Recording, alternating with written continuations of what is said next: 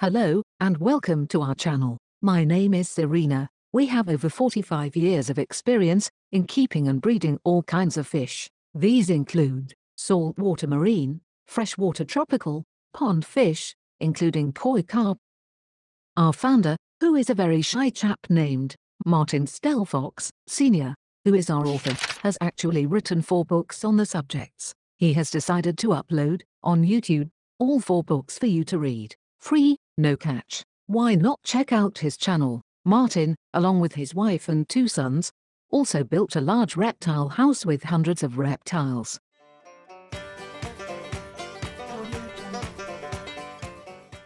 Out of interest, the biggest one being a reticulated python, this was 18 foot long, so now you know, we have lots of experience and a great love for all kinds of wildlife. However, today I'm talking about the saltwater cycle in a marine aquarium. We will start with the first day, setup, going through the months, and finally ending up with an aquarium that's been running for a year. So, let's start. This is a time-lapse film over a nine-month period. It was set up in February. No fish have been added at this point, due to a high spike in ammonia, otherwise known as NH3. We can't add any fish until this ammonia level has dropped to zero. This is what's known as the water cycle. You can find out more about the water cycle, either on one of our videos, or in our free book, Marine Fish and Corals for the Complete Beginner.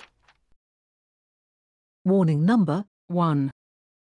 This is where a good majority of people add a couple of fish. This is one of the most cruelest of things to do. The fish will go through a very traumatic time if added when ammonia is present. It's similar to a scuba diver, when he surfaces too fast, he would get the bends. Your fish would have a terrible death. So, don't add fish with an ammonia reading present. We are now in March. Ammonia, NH3, has now gone. However, we have now detected a reading of nitrite, NH2. This has not to be confused with nitrate, NH3, with no ammonia reading, and a small nitrite, NH2, reading. We can now add a fish. Note the fish, in the photo. We are now in April, and the nitrite has now gone. However, we now detect a reading of nitrate, NO3. This is where we do a 20% water change, making sure it is the same temperature as the aquarium water. Warning number 2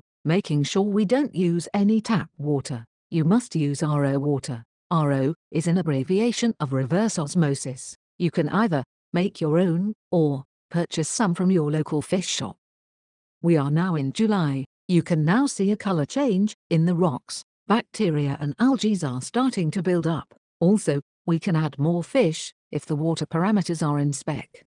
Warning number 3. Don't overstock your aquarium too fast. This will make the ammonia spike.